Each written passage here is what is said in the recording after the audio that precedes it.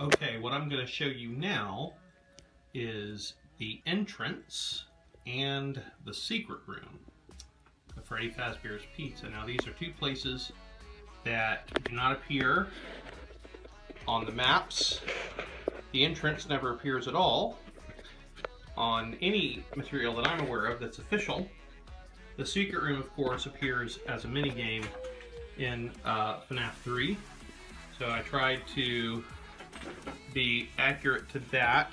I've got my two arcade cabinets here that are mostly gray colored with blue screens, and then the um, the sort of worn out video game console from my son's main stage set. He took off the before I gave it to him and bought a new one for myself. I got a little upset because without telling me, he pulled all the stickers off because he said it looked too real and made him think that Freddy Fazbear's Pizza was a real place. So I understood and let him have that set, and I bought a new set that I haven't taken out of the package yet.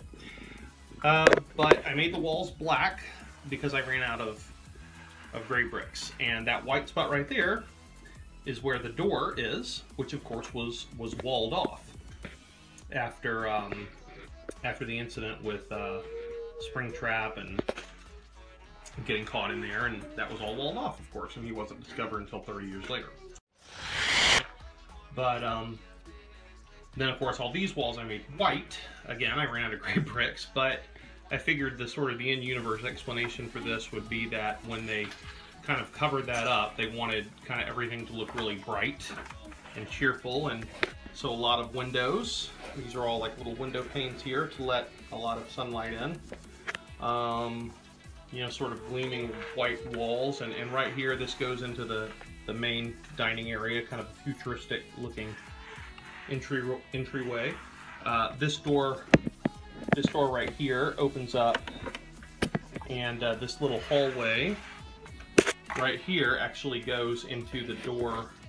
I'll show you right here on the main stage. This door right here, um, so that the the animatronics can can sort of have that little green, so sort of little green room area here, so that the kids don't see them kind of walking up there from the dining area, or if it's people in costumes. But I think for the for this this location, Freddy Fazbear's Pizza, it was just animatronics. It wasn't costumes. Here's the cash register. I sort of combined a few different tutorials online. I didn't have the, the parts to make a card reader, but you know, since this is 1993, maybe they didn't take credit cards. There were still plenty of places back then that only took cash or check a little drawer there, little uh, beep boop buttons.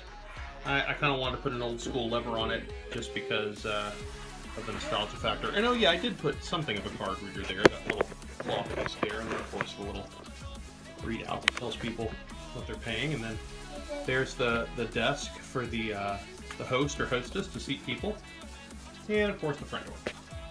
And that is the entrance and the secret room of Freddy Fazbear's Pizzeria.